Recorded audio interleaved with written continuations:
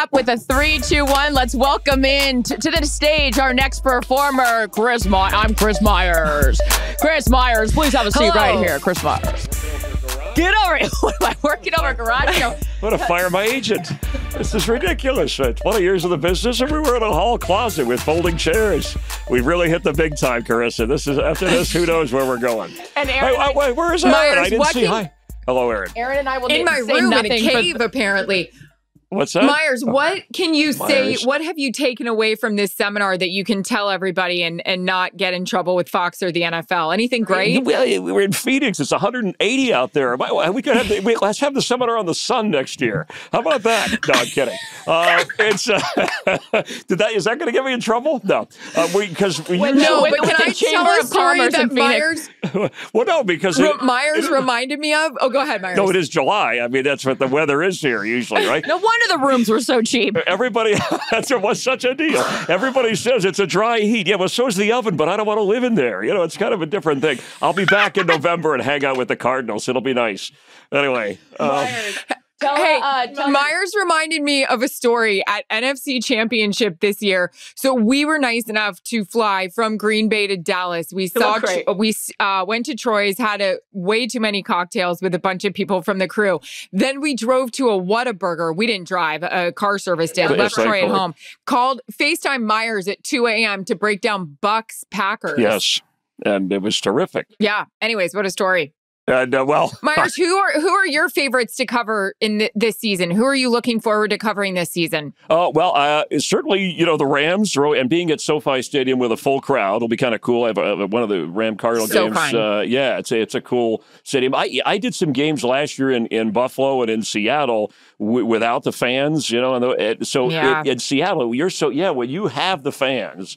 It Well, really does make a difference. Yeah, they they it, it- it's the atmosphere, the energy that we have, and obviously less words for us, and and it rides it out. I I don't know. There's a lot of. I think the Viking offense is really going to be special. Improved offensive line. I love the the, the talent position there. Cousins will be on it. Um, yeah, I, I don't know. It's a, it's kind of a wide range of uh, the young quarterbacks in the AFC. Joe Burrow's on our schedule, so uh, a, a few of excited. them. You know, yeah, I, I like. Here's what I like too. You know, uh, Erin and Chris said that the NFC to me, yeah, there's the Bucs, but repeating is hard. So right away, that's kind of a strike against them, right? To go back to back, that's an extra challenge. Uh, but then after that, I really think it's I think it's kind of across the board. There, there's a lot of evenness. Is it Seattle? Are the Packers going to be okay? I, I- the Rams. you know, I like the Rams. the Rams- and I say this as a Seattle girl. Yeah, but I Matt Ram- Stafford. Yeah, but the Cam Akers injury That is is gonna be- big, as yeah, we're but- talking. That's big. Yeah, but if there's anyone that can like, What are they going to do? Are they going to get a running back? What's happening? Yeah, what are I- your people like Sean McVay telling you? Yeah, I, well, I'm talking. I talked. about- I thought a guy like Le'Veon Bell, if he if he was if his heart was in Oh, it, he yeah. could contribute, kind of like McCoy did, or the Mm-hmm. you know Fournette had uh, Leonard Fournette for the Bucs had kind of a resurging career. Yeah, it you was know. one of the four touchdowns. Totally. Yeah, yeah, and he took Brady off brought him in, in the yeah. play. Yeah, and in the playoffs, Playoff he, he- Lenny. he, took Mm-hmm. off. Yeah, it was really. Uh, so yeah, I like that the year is so wide open. Right, you have the Chiefs and the Bucs. uh, Okay, they, they were in the Super Bowl, but then after they, there you got the Browns and Bills that I think could. Could, could make it to the Super Bowl this year. Um, so there's listed all the there's a lot of- teams. A lot of yeah, there's a no, but there's a lot of yeah, that's what I mean. I think everybody's in it, and even our buddy Urban Meyer, they'll be better. They're not going to be a playoff team. I do think the Carson Wentz injury really affects the Colts. They were a playoff Wow. team, and, and and the amount of time that he's going to be out and the magic they're going to have to work with, they should probably make a Why has move. he always hurt this guy? So who's that? Carson Wentz. Yeah. But what do you think about the gossip now? What could they, would they get Nick Foles? I mean, could you imagine? Oh yeah, that's actually I think. Yeah, because Frank Reich worked with him. Yeah. Same thing. Yeah. That That's- was that, what happened. Can you imagine Nick Foles comes? Because look, they're going to have to get a backup quarterback, and Nick Foles is like number three on the depth chart right now for Chicago, right? Yeah, they're going to Played actually. that game before in Philly. Well, not only yeah, not only uh, I mean, he would probably be their starter. I mean, based on Wow. What they with Wentz Yeah. out until Wentz uh, returns, and then how healthy Yeah. uh, when he when he returns. So Uh, Myers. Now, yeah, aside from football, Meyer. I love that we're that close that they call me Myers. Well, right? Are we not close? I mean, we're So- very close. No, Oh, but I mean, you, uh, Chris, I call you Erin and Charissa. I don't call you Hey Thompson. Really? Hey Andrews. Well, No. we always call you Myers. I know everybody. I don't know why. It's a weird Are thing. you but- offended? You want us to go back? No, no, no. You can call me. You can call me anything as long as you call me. Hey, no, I'm kidding. All right, sorry. I just couldn't help that they like to joke around a lot. They're crazy. I just stumbled in here. I So don't. here's I don't really thing. know these two people. So So Chris always does this really fun bit at the seminar where he pokes fun at Yeah. people, and it's one of my favorite things. Now we're not doing that this year because we're in a different climate. That's fine. But yeah, it's 108 you, degrees. well, hey, girl, it's a dry heat. It's a dry, yes, it's a dry heat. But we need to know where you get your comedic chops because Erin and I laugh clearly. As Yeah, you guys are a great audience. Well, Uh, no, actually, we're a tough audience because we don't think a lot of people are funny. Oh, but everything all right. that comes out of your mouth, we think is hysterical. So where does the comedic background come from? Well, I know, and I enjoyed doing that. It's pretty cool at our company in the past, and hopefully we can return to that, where the boss says, "Hey, you know, work the room, have fun with everybody," and you have Rip on everyone. Yeah, whether it's you guys, Troy Aikman, whoever, you know, Hall of Famers, Super Bowl, everybody, we're all at the same off level. Yeah, and, and we all have fun, and, and nothing's mean spirited. It's it's a Mm-hmm. lot of fun. So I, you know, I growing up, I watched a lot of sports, but I also watched like late night interviews and th- those, you know, Mm-hmm. Johnny Carson, the late shows like you have now with Jimmy Fallon and Jimmy Kimmel, et, et cetera. So I, I just liked fast tempo. I used to watch all the roasts of, you know, whatever the comics when they were you know, roasting people, and then they had a modern version on at MTV. But I like the fast pace, you know, tease somebody. I come from a, a family with five kids, so we're always brothers, sisters teasing each other, and and so that we we did it not to be mean, but to be funny. You Yeah, know what well, what you were wearing, how your hair looks, what How all did you things. start in the business? Where did, what was your first job? So I called in on a radio station in Miami uh, as a teenager, and I had a deep voice, but they didn't have caller ID. Lucky. Yeah, and they had uh, well, yeah, and they had a rule where you could only call once a night. So I would be Chris from Miami, then I would call back, disguise my voice, and I would be Duke from North Miami, and I'd agree with my earlier call, so I'd get on the air twice at night. Yeah, it was pretty cool. I had this going for like a year, and they had fan night, and they invited both of me down to the radio station.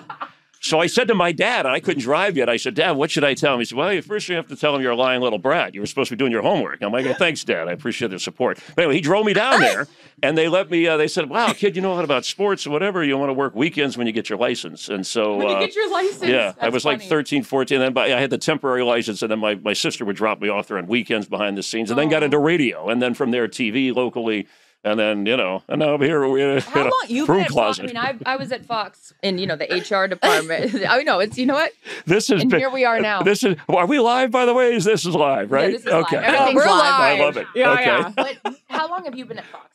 Uh, oh, 20 years. Yeah. I was, at, I was at ESPN 10 years. Our paths crossed in different ways because you went over to ESPN, you know, for a time and then came back to Fox. Mm-hmm. But never overlapped so- ESPN, did you? not, right. No. Yeah, yeah, not really. Yeah, yeah. Cool, Funny story. Chris actually thought I was a bitch until he he got put on a Cowboys game with me, and then I said, "Come share my dressing room with me. It's so great. There's your own Well, bathroom Erin- in here and great lighting to get ready." And he goes, "I thought you were a bitch. You're pretty great." I never said that. I worded it differently, but she did take. Uh, she always took good care of me on the road trips in terms of we're going to get a good hotel. I'm going to make sure you get here, whatever you know. So uh, no, we had we had a great working relationship. Uh, that yeah, that we never time. really had. Yeah, and, and that, that was some of the best part with with Joe and Troy on that crew. wasn't just doing the big games and and the playoffs and all that and weird weather in Green Bay, but and, and her outfits. weird yes, weather. we had- we had all, you know, bundle up. But but the hanging out uh, around, hanging Great jacket. Yes, I mean she looked like a peacock at heat one time with this outfit just to stay warm.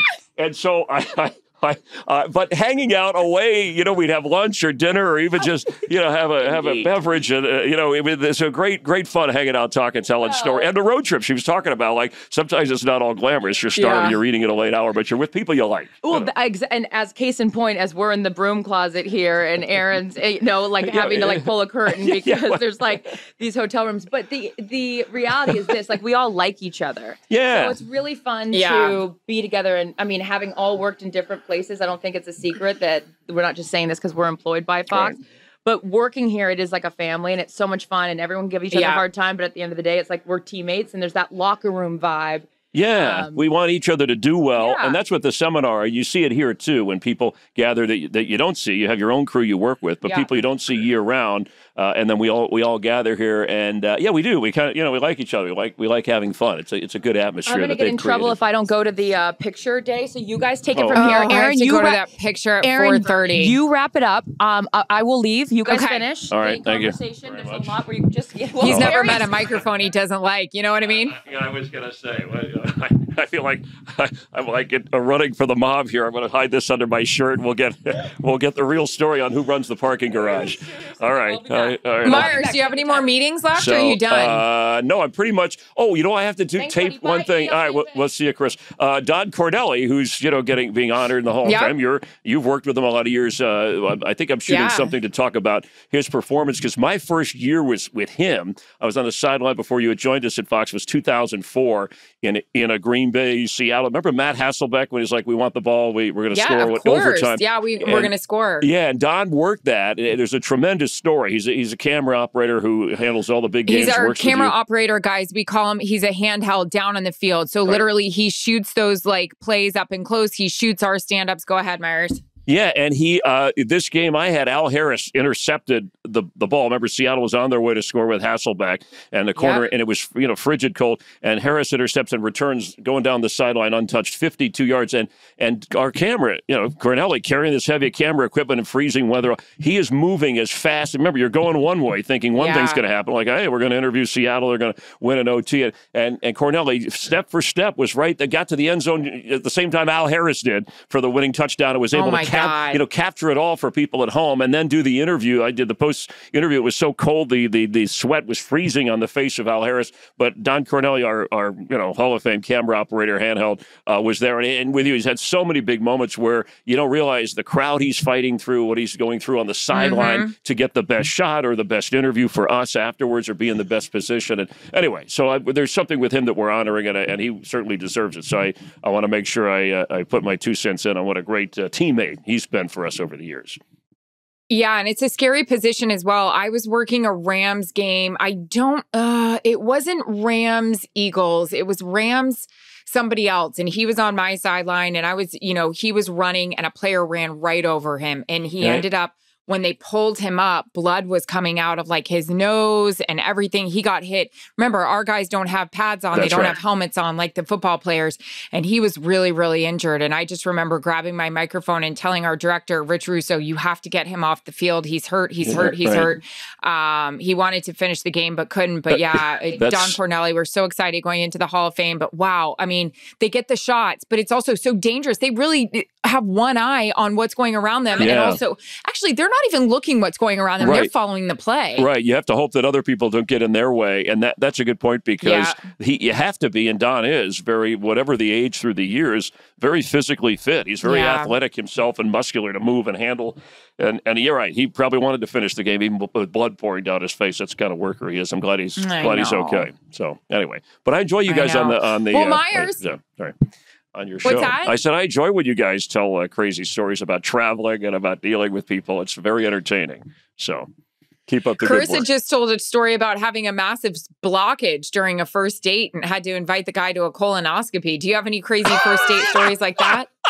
oh wow! I can't. You guys tell everything on this uh, on this podcast or this gathering, this event, this broadcast event. No, I don't think I can have a. So I did have a story when I was uh, first a young TV broadcaster in Miami, and I was on television, and uh, I uh, asked this girl out, and she we were still very young because I got into TV young, and her her dad when I when I came over there to the house, she she was her dad answered the door. She said, "Hey, this is Chris. You know, he he works on TV." And the, I think the family thought she didn't really tell him, and I don't know that I worked on TVs. And he said, well, "Our our TV said we got a little problem with this thing in the back, some wiring. Can you help us out with that?" I and I, of course, you know, I'm not mechanically inclined at all. I can barely hold a microphone. So it was it was one of those embarrassing moments. That relationship didn't go anywhere, by the way. But uh, after Great. that, but it was one of those. So I don't work on TV. I work, you know, I guess in TVs or on I'm on TV, but I don't don't work on TVs themselves. Anyway, it was it was one of those uh, weird uh, dating moments from from way back when. Well, if that's as weird as it gets, I mean, you sound pretty straight laced, although I know you're not. You're right. a lot of fun. Um, love you. Thanks for doing this. I'll see you in about 20 minutes when I run through the heat and get back down to the meeting room. Yes, we have more uh, more meetings, and I think we're honoring Dick Stockton later. I, you know, I think the commissioner hey. is supposed to, to, to speak here. I so. heard the commissioner's coming. Yeah, so that's always good to see Raj. I, I, remember when I saw him at the last. I said, "Hey, you know, can I call you Raj? Can I call you Raj?" He said, "No, call me Goodell, Chris." Anyway, he's a good guy. All right. Oh, and you tell no. him to call you Myers. that's right. He and said, that, on that note, we'll see you later. We're going to wrap up so we can go see the commission. I'll see you in a few minutes, okay. Myers. All right. Thanks for having me on. All, All right. right. Bye. See ya. Calm Down with Erin and Charissa is a production of iHeartRadio. For more podcasts from iHeartRadio, visit the iHeartRadio app, Apple Podcasts, or wherever you get your podcasts.